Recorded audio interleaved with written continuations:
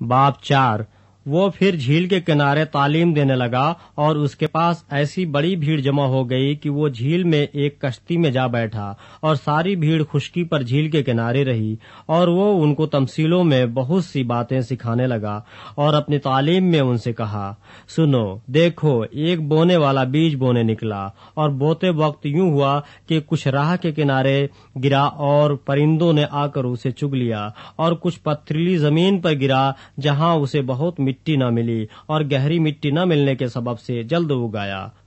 اور جب سورج نکلا تو جل گیا اور جڑ نہ ہونے کے سبب سے سوکھ گیا اور کچھ جھاڑیوں میں گرا اور جھاڑیوں نے بڑھ کر اسے دبا لیا اور وہ پھل نہ لایا۔ اور کچھ اچھی زمین پر گرا اور وہ اگا اور بڑھ کر پھلا اور کوئی تیس گنا، کوئی ساٹھ گنا، کوئی سو گنا پھل لایا۔ پھر اس نے کہا، جس کے سننے کے کان ہوں وہ سن لے۔ جب وہ اکیلا رہ گیا تو اس کے ساتھیوں نے ان بارہ سمیت اسے ان تفصیلوں کی بابت پوچھا۔ اس نے ان سے کہا کہ تم کو خدا کی بادشاہی کا بھید دیا گیا ہے، مگر ان کے لیے جو باہر ہیں، سب باتیں تمثیلوں میں ہوتی ہیں، تاکہ وہ دیکھتے ہوئے دیکھیں اور معلوم نہ کریں اور سنتے ہوئے سنیں اور نہ سمجھیں۔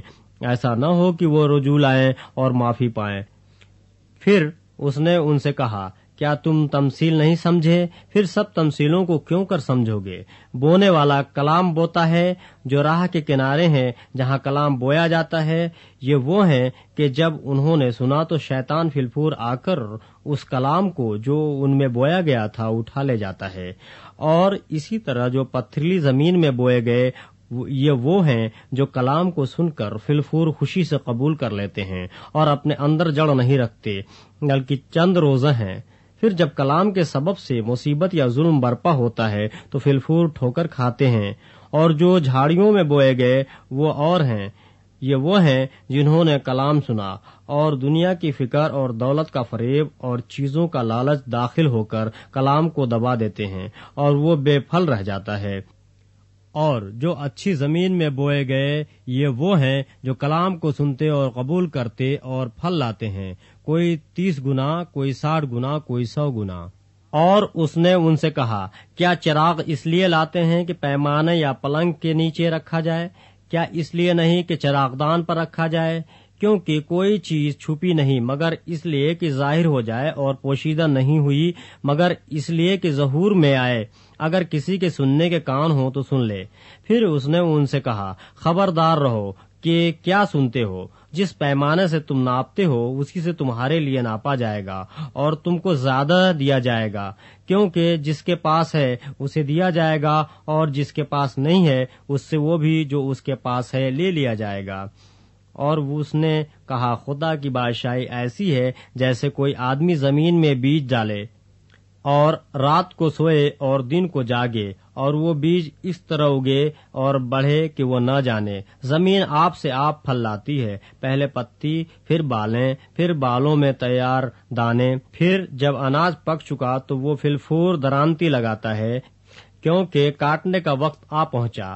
پھر اس نے کہا کہ ہم خدا کی بادشاہی کو کس سے تشبیح دیں اور کس تمثیل میں اسے بیان کریں۔ وہ رائی کے دانے کی مانند ہے کہ جب زمین میں بویا جاتا ہے تو زمین کے سب بیجوں سے چھوٹا ہوتا ہے، مگر جب بو دیا گیا تو اگ کر سب ترکاریوں سے بڑا ہو جاتا ہے اور ایسی بڑی ڈالیاں نکالتا ہے کہ ہوا کے پرندے اس کے سائے میں بسیرا کر سکتے ہیں۔